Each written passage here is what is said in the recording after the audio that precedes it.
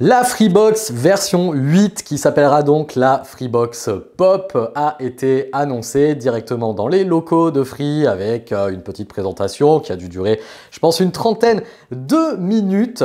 Si c'est pas encore fait, eh je t'invite à t'abonner et à mettre la cloche pour ne pas rater les prochaines vidéos de la chaîne. Et si tu es entrepreneur, je t'invite à aller voir le lien en description pour recevoir directement dans ta boîte mail mes meilleures astuces du tournage au montage pour te lancer sur YouTube.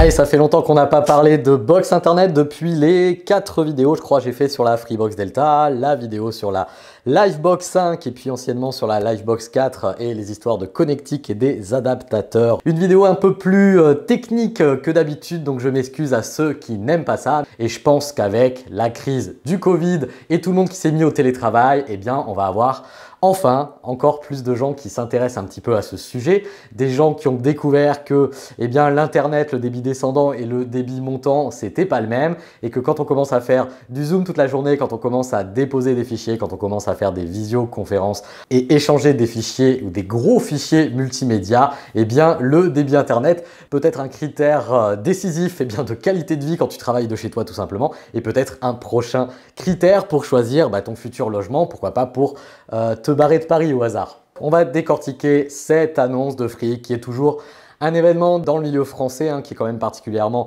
innovateur euh, concernant les box, concernant les débits internet et les offres 4G puisque l'offre téléphonie a été la petite cerise sur le gâteau qui a été lancée avec cette offre de box internet. Donc à l'heure où je te parle, le produit a été annoncé ce matin donc il est inutile de venir rager dans les commentaires que je ne l'ai pas entre les mains. Je ne ferai pas non plus une vidéo de merde avec un couteau que je te déplie comme ça en gros plan qui ouvre la boîte et qui te montre quel câble se trouve dans la boîte parce que rien à taper. Attends, Apple a mis le rapide sans l'iPhone 12. Je fais une vidéo de 100 000 vues. Quoi qu'il y aurait quelque chose à dire en connectique, puisque par rapport à la Freebox Delta, où il y a eu un véritable problème entre la vitesse annoncée et les connectiques qui étaient connus, en tout cas dans le monde particulier, euh, j'en ai fait une vidéo qui était vraiment dédiée à ce sujet-là. Et donc sachez que, en tout cas, pour cette Freebox Pop, pas de problème, on est sur du classique, donc le RJ45 euh, complètement euh, normal, bien qu'il faudra respecter quand même une certaine catégorie si vous en sortez un tout vieux du placard, mais pas de problématique avec ce genre de connectique que l'on trouvait sur la Delta. Je m'étends pas plus sur le sujet parce que la connectique est quand même un sujet qui emmerde, ah oui, la plupart des gens. Donc dans cette vidéo, on va essayer de voir est-ce que Free a bien corrigé le tir par rapport à la Freebox Delta? On va voir quelles sont ses caractéristiques au niveau bah, de la connectivité qui fait quand même euh, la richesse de l'offre de Free et qui vient, euh, comme d'habitude, eh bien secouer euh, ses concurrents qui d'ailleurs avaient commencé à répondre dès hier pour Bouygues Telecom qui joue avec le, le débit montant contre Free. Et puis, on va décortiquer un petit peu l'offre de la box télé. Alors, est-ce que Free corrige la problématique de la Freebox Delta qui proposait ce tout en un avec son pack de sécurité, euh, sa grosse enceinte de Vialet, son problème de je la paye 10 euros par mois de plus ou je l'achète et elle m'appartient qui était un petit peu euh, difficile à comprendre.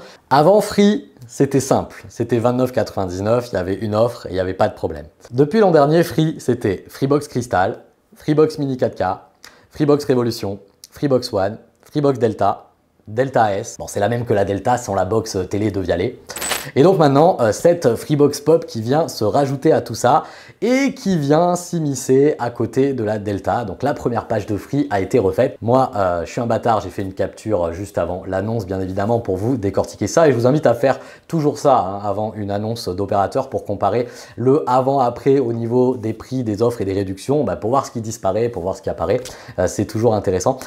C'était tellement devenu un bordel cette euh, première page du site de free.fr que euh, on vous avait mis des onglets dessus avec euh, le meilleur offre, la meilleure prix, les offres les plus intéressantes, enfin je sais plus quels sont les noms que je vous les incruste ici. C'était devenu n'importe quoi pour choisir son offre avec des colonnes à rallonge qui listent toutes les caractéristiques. Et là Free partait véritablement dans tous les sens, il était temps de recadrer la chose. Alors c'est clairement pas facile pour Free d'annoncer comme ça en quinconce, en décalé, à chaque fois une, une offre très haut de gamme avec une box très haut de gamme et puis une offre intermédiaire qui ne fasse pas du coup de l'ombre à son offre haut de gamme. Donc il faut en donner plus, il faut donner de la nouveauté, mais il faut pas non plus que les gens qui soient déjà abonnés chez vous sur l'offre haut de gamme euh, deviennent ultra mécontents parce qu'ils ont pris votre box euh, il y a un an, un an et demi, je crois qu'elle a 18 mois l'offre de Freebox Delta si je dis pas de bêtises et euh, il faut clairement pas les rendre rageux sur ce qu'ils ont pris par rapport à l'offre de la Freebox Pop. Donc on est revenu au 29,99 29,99 mais pendant un an, la petite subtilité de Free, d'ailleurs, on a véritablement des problématiques, c'est que le 29,99 pendant un an, on va donc repasser à 39,99 hein, pour pas dire 40 euros, mais c'est toujours le cas en fait pour la entre guillemets vieille Freebox Révolution. Et 40 euros par mois, c'est aussi le prix de la Delta S, ce qui veut dire que potentiellement, juste dans un an, on se retrouve avec eh ben, trois offres de prix à 40 euros. Et là, clairement, il va y avoir encore une fois un problème de clarté d'offre. Alors peut-être que la Révolution et son lecteur Blu-ray euh, tireront leur chapeau à ce moment-là, hein, parce qu'elle commence, euh, je crois qu'elle a 8 ou 9 ans, hein, la Freebox euh, Révolution, donc c'est complètement possible. Et puis je pense que la Mini 4K va également être amenée à disparaître, comme la Freebox One a finalement disparu aujourd'hui, après pas longtemps en fait. Allez, on rentre dans le dur avec la connectivité. Cette fois-ci, Free nous annonce pas euh, du 10 gigabits pour nous mettre du 8 dans les conditions générales, pour nous mettre du 1,5, 2, 3 quand il y a du vent, quand tout va bien, qu'il fait soleil et qu'il fait beau et que tu as béni tes câbles euh, réseau mais nous annonce donc un intermédiaire, donc du euh, jusqu'à 5, petite étoile, petit tiré à la ligne.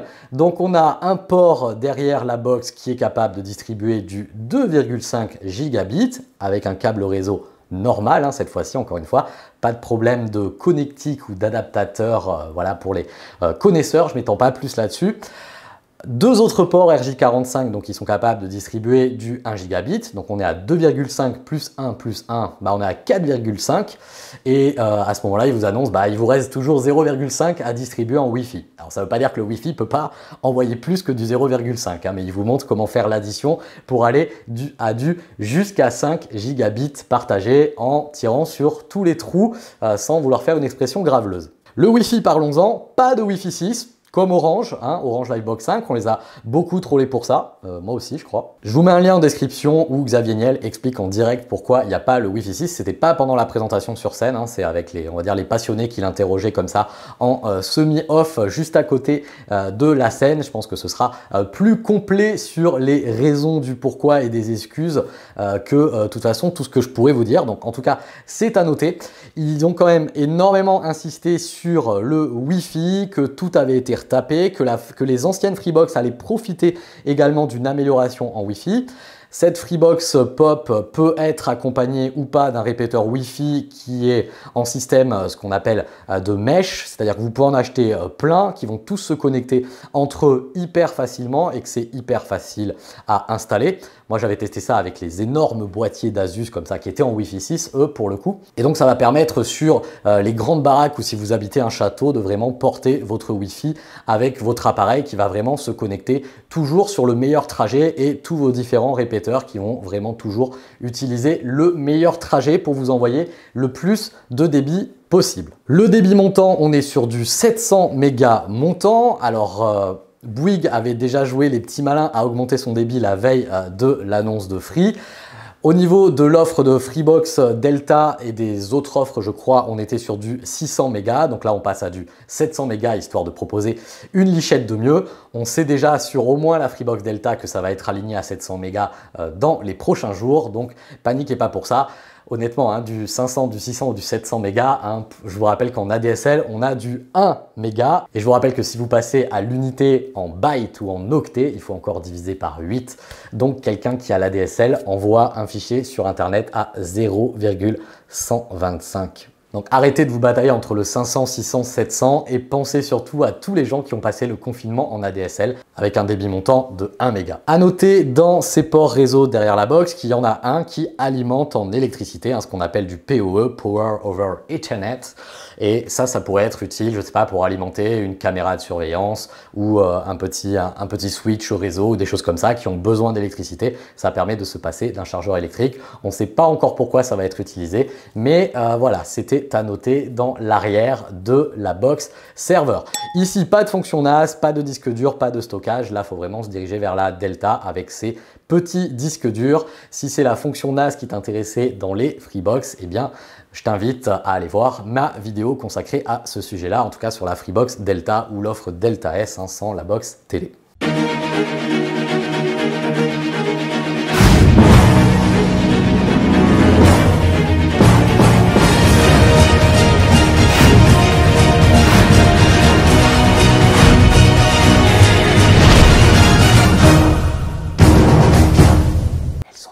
Allez, rapidement, la box télé, donc la deuxième box qui est encore plus petite, euh, qui est toute euh, noire comme ça, toute fine, toute minuscule à côté de la télé. C'est sûr qu'à côté de la grosse box de Vialet, si tu la poses sur un meuble plat ou sur les télé LG qui ont juste les deux petits pieds comme ça qui tiennent ta télé, va mieux falloir investir dans une Freebox Pop que la grosse de Vialet où clairement il y a pas mal de meubles télé où tu sais pas où la mettre euh, tout simplement. Au niveau des fonctions télévisuelles, mot de 1902, 4K, HDR, Dolby Vision, elle coche toutes les cases, accès en VOD à Netflix, Amazon Prime et toute l'offre Canal, y compris d'autres trucs que je connais absolument pas parce que euh, je m'en fous. On peut aller souscrire euh, Disney+, on a accès au Play Store euh, Android, Chromecast intégré, donc toutes les applis qui sont compatibles avec le Chromecast, bah, vous prenez vos smartphones, vous faites un clic et pouf, l'image elle part sur la télé ou sur un moniteur qui est équipé en port HDMI, le super replay, contrôle du direct, l'enregistrement avec 100 heures euh, d'enregistrement, la possibilité de dire j'enregistre alors que tu es arrivé deux minutes avant la fin du film et tu dis ah mais je voulais le voir euh, euh, donc tu me l'enregistres à partir du début, hein, s'agit pas d'enregistrer les deux minutes de fin. Donc pour le reste, il faudra voir la fluidité au niveau de l'accès au Play Store d'Android et voir si tout ça, ça tourne avec les gros jeux et compagnie. On n'a pas eu beaucoup de détails là-dessus, je trouve qu'ils sont passés un petit peu vite sur l'aspect euh, Android. Donc je pense que le minimum a été fait. On espère que c'est en tout cas beaucoup plus fluide que sur une Freebox Mini 4K. Et la dernière option où là on atteint euh, le summum du euh, dont je me fous complètement, mais je comprends que ça intéresse quand même du monde, c'est l'option voir les buts et les meilleurs arrêts au niveau de la Coupe du Monde de foot, je pense.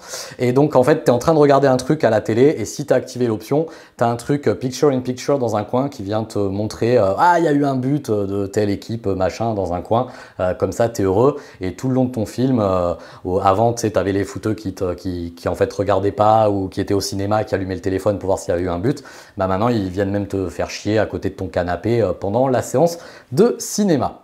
Bon, je dis ça et je regarde toujours les films en prenant mon téléphone, mais je te fais pas chier euh, parce qu'il s'est passé un truc dans un certain sport. Petite cerise sur le gâteau téléphonique. Alors, Free a annoncé en exclusivité pour ceux qui prennent l'offre de Freebox Pop un forfait à 10 balles, 9,90 avec de la 4G+, sans limite, sans quota. Ça, c'est euh, unique euh, au monde euh, à l'heure actuelle. Ça n'existe pas. Hein. En France, on est déjà chanceux d'avoir des forfaits avec 60 Go, 80 Go, 100 Go. clairement, dans les autres pays du monde, vous n'avez absolument pas ça. Alors évidemment, on pourra toujours trouver des endroits, des villes, des poteaux qui sont saturés, des zones qui sont saturées, ou quand vous lancez un speed test, c'est pas parce qu'il y a écrit 4G en haut à droite de ton téléphone que ça va vite. Quand je te demande à combien tu roules, tu me dis pas bah, j'ai passé la quatrième vitesse. Ok, faut que tu regardes à combien euh, va euh, l'aiguille.